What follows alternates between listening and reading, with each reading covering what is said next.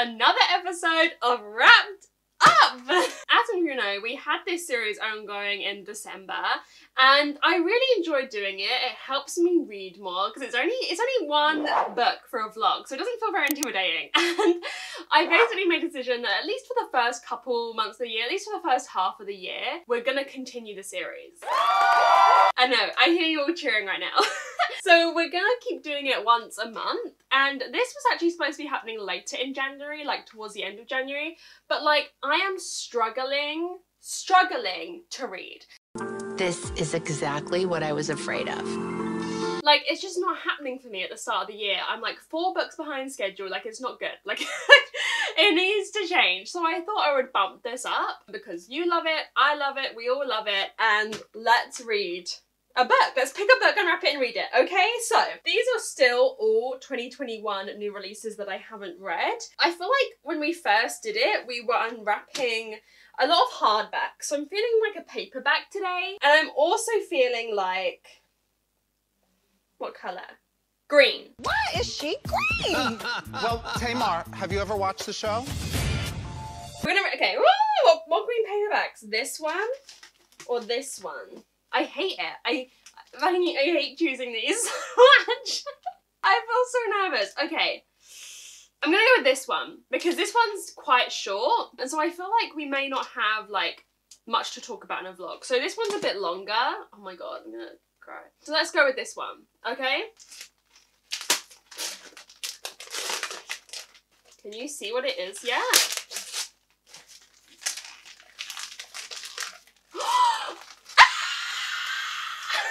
Oh my god! I am so happy!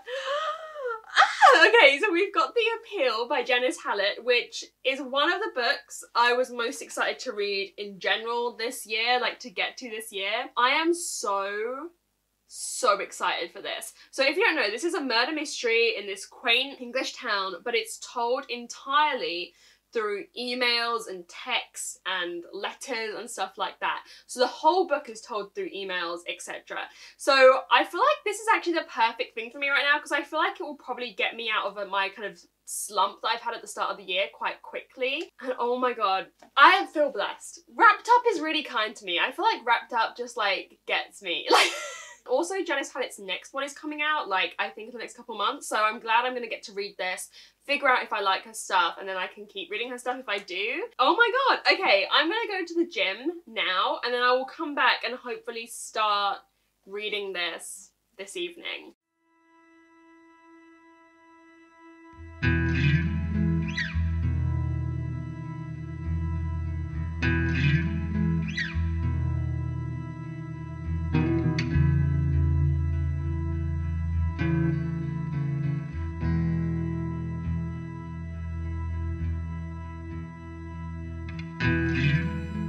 Okay, so before we get into it, I just I just need to clear clear the room. You know, I need to get something off my chest. So obviously, you saw me unwrap this, okay? But I I since went and I I bought this.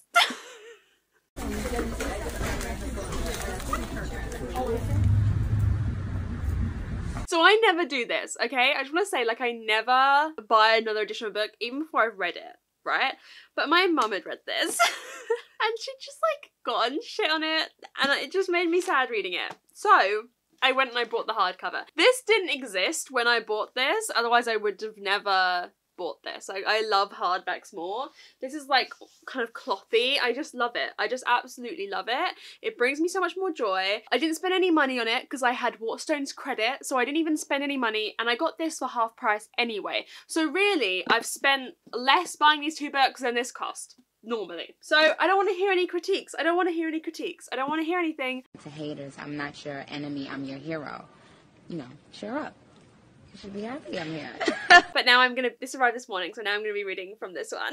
Let's chat about this. So the appeal, we are in this quaint English town, very Agatha Christie, and we're actually following this group of people, which is like an adult amateur drama society where they put on shows. And I actually, part of this is so fun for me to, to read, is when I was a kid, I was in the kids version of an adult's theatre society like this. That's what I went to to go act. And so I rem- remember the kinds of people you would get in these groups. It's often more elderly people, and you often have a lot of families in it, like parents and, and children, and that's what this is like. So like I'm like, does Janice Hallett live near me? Like, is this based off of what I know? It's a conspiracy theory that I'm actually interested in. or is this just a very like common occurrence? So it's making it really fun for me to read because I'm like, I know these people. When there's like a meddling, like fucking uptight person, I know who that is. When there's a family situation and how that makes it a bit awkward for everyone else, like I know this. I've lived this. So that's really fun for me to read. And it is told entirely through mostly emails. There's a few text messages. I feel like some of the characters, I'm like, you wouldn't be emailing each other. Like the younger characters, I'm like, why are we doing emails here? Like that doesn't really make sense to me, but like I'll take it, we'll go along with it, whatever. I'm 100 pages in, so I feel like it's taken me up until now recently to like get a hold of what's happening and to kind of understand everything. It definitely took me a while to like understand all the different characters we've got going on. It reads very fast, so it's not like a hundred pages of a normal book. Do you know what a normal book? Like a traditionally written book. Do you know what I mean? It's very different. It's like a much faster paced reading experience, having to read between the lines a lot, but I'm really enjoying it. I'm loving the setting, like I said, the characters, we've got a very big cast of characters, but it's super interesting. And we are kind of reading from the perspective of these two detectives who are going through this with us and trying to figure it out. Now, I already have some theories as to what's going on, but I feel like those theories are gonna get solved pretty quickly and we're gonna constantly kind of have new mysteries going on throughout it. We don't even know what the case or what the death I assume there's a death involved in this like who that is or what's happened we don't know any of that we've really started from the beginning and so we're kind of going through the before do you know what I mean? It's not like a normal mystery where like the murder's happened and the rest of the book is trying to solve it. This is like leading up to the murder, which I actually really enjoy. I've read a few books that have done that and I've always really enjoyed them. So I'm really enjoying it so far. I can't tell yet if it's going to be like a four or a five. It's kind of feeling like a four at the moment. But like I said, we're very much at the beginning, so it could really go anywhere. And I'm really enjoying the kind of unique sense of storytelling. So yeah, all I've got to do today is really read this book. So I'm just going to go ahead and chill out and read some of this. I man. I said, Tell me your story.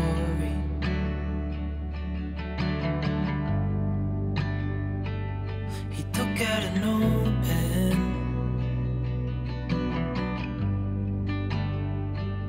and wrote something for me.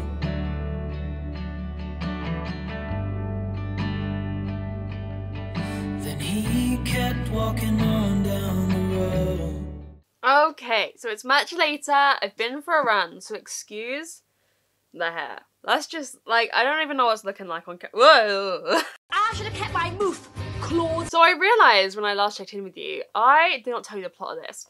I just neglected to tell you the plot. So basically, the granddaughter of the kind of heads of the drama group, I think she's got a rare form of cancer. She's only two years old, and so they basically launch an appeal to raise £250,000 for her to get this drug treatment that is not approved on the NHS yet, but like is being sold as the, the cure for her basically. From the beginning, I was like, I don't trust these bitches. Like her family, you know, like the adults. Because it's obvious they're the head honchos. They are the head honchos. Like they control the the beating heart of the socializing in this tight knit community. Do you know what I mean? Like they're the rich bitches. So first of all, I'm like, there's a weird power dynamic here, and second of all, I'm like, you have money. That hasn't really been covered yet that much, but I'm like, you have money. Like I don't trust you. But I feel like there's a, in this book something it's doing really well is making us not trust everyone. Like there's a big character list, and I could go down almost everyone and be like, here's why I don't trust this person. But I kind of don't want to get into all of them. Otherwise, we're here like 10 years. and one of the main characters we're following is this strange character called Izzy, who is like obsessed, like obsessed with this other character called Sam. I Just go away. Oh, literally obsessed with me. Here's the thing. Reading from Izzy's perspective a lot, she writes, this girl writes a lot of emails and she's annoying. Like it's annoying to read. Like I it's not I'm like after page 100, I was like I get the point. You know what I mean? I was like I understand. Like she's annoying. but like I don't need to read it over and over again. it's not like a five star for me right now. It's probably about a four. It's it's strange, right? I almost think I need to read Janice Hallett's next book to kind of get used to this style where other books I've read have been mixed media but haven't been solely like one form of media pretty much. Other books, say The Good Girl's Guide to Murder, has mixed media elements interspersed. Well, the Illuminae series has mixed media, but it's a lot of different forms of mixed media, right? Whereas this is all emails. It's just email after email after email with occasional text messages thrown in, but they're not that different to the emails. And like constantly read, all I'm reading is people's email tone. Do you know what I mean? Like you write emails in a different tone to that you speak or to you text or you whatever, you know? And it's a bit like, it's a lot, you know? Like I wish this could have been not just emails, which I'm intrigued as to whether Janice Hallett's next one is only emails or if maybe it has other mixed media because that's what I feel like this is crying out for.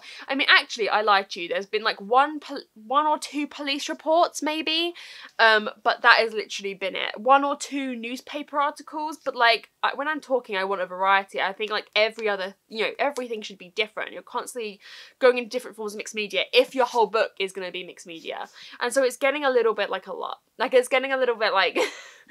okay, like constantly reading in people's email tone of voice that they use is strange.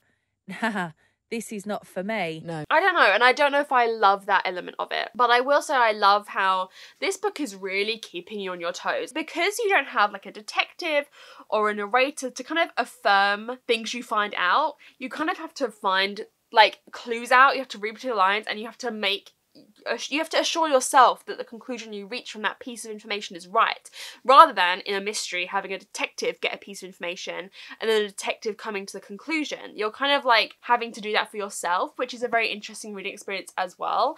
So I am enjoying it, but it's just like the emails are a lot. Like, I wish there was some stuff that weren't emails. and I'm kind of ready for the murder to happen. You know right from the beginning, it's in the kind of um, synopsis that a murder is going to happen. And I'm like, girlies, the tension is rising. Let's get a killing. Because it feels like it, we just need something to move the story on a bit. It's not a five star, which I, I feel like I'm a bit disappointed that it's not. I feel like maybe you can tell in my demeanor because I wanted this to be an all-time favorite. And it, it could be. Like, it could turn it around in this last bit and just go absolutely ape shit but I'm still really enjoying it. So I feel like me sounding disappointed doesn't do it justice because I still am having a great time reading it. I just wanted it to be like an all time favourite, if that makes sense.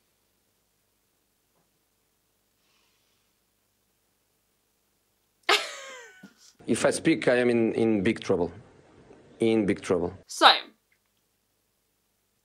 fuck. I am disappointed. I'm just gonna throw it out there. I'm just gonna say it. I'm just gonna say it. 3.5 stars. It's not the vibe. Stop! I'm giving it 3.5 stars, okay? 3.5. For me, I think in the end, the repetitiveness of the emails it got a bit old for me. The, and the structure of the story actually didn't work for me. You know, the murder happens at probably the 75% mark.